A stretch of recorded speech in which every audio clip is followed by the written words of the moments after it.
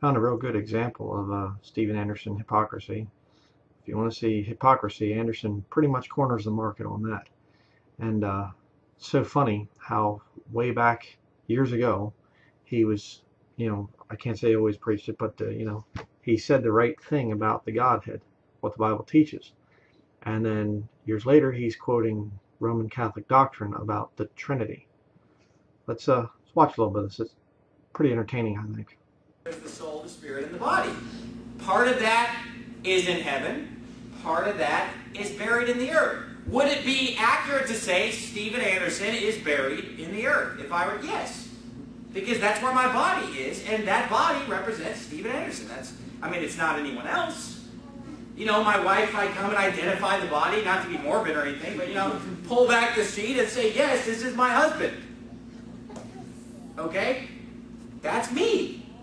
It's not all of me. It's just the body. The soul and spirit are up in heaven. Same thing with God.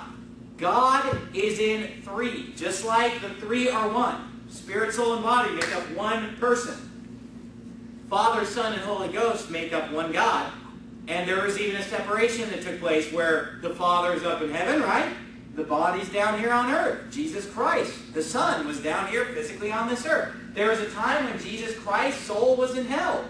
His body was in the tomb. The Father is up in heaven. It's all the same person. Mm-hmm.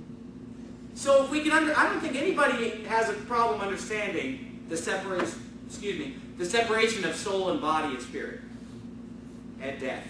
Everybody understand that? So how can we not understand that God is made up in a similar format of basically a Father, Son, and Holy Ghost that make up one person? Okay, so you know, again, we may not fully comprehend it, but that's just because we're human and God's on a different level than us. but we still believe it, don't we? Okay.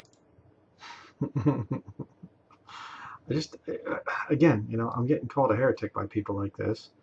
And it's just like, see, he's being told what to preach and what to say and things like that. You know, it's just kind of funny. Um, but then, see, here's a more recent one. Okay, this is just a little bit ago, July 10th, 2017. The other one was 2011, so six years ago. Now listen to what he says. Okay, and keep in mind, I'll just show you here, Catholic Trinity, okay, the Father, the Son, the Holy Ghost, you know, is not the Father. The Son is not the Father. The Father is not the Holy Ghost. The Holy Ghost is not the Son. They're all just God. You know, you get the triquetra there. Uh, again, Catholic Trinity is a pagan Trinity. So, but listen to what he says here. Of why the devil is doing this and why this strange doctrine is creeping in. We need to understand that Jesus is the Son of God, but the Father is not the Son. The Son is not the Father. The Holy Ghost is not the Father. These three together collectively compose one God, but that one God is in three persons. That's the traditional doctrine of the Trinity. That's what we need to stand on and not try to compromise it and, and meet these oneness Pentecostals halfway. We need to stay strong on the traditional, biblical, tested view of the Trinity that every Baptist has believed in for hundreds and hundreds of years. And, and, and you know, they he didn't even believe in it six years ago. But of course, you know, he trips all over the place, you know, things. And uh, but you know, I just find that interesting. Here he's ripping on the Pentecostals, and comes out and explains the Godhead correctly according to the Scriptures. Here he comes and he's attacking Pentecostals again, but yet he's teaching the Catholic Trinity that the Father is not the Son, the Son is not the Holy Spirit. That uh, you know, but they're all God. They're three separate, distinct, just like this right here. And again, you know, you're a supporter of Steven Anderson. I'll ask you again: Is this the Godhead right there. Is that an accurate depiction? Maybe slightly different the way they would look and whatever, but is that what it looks like?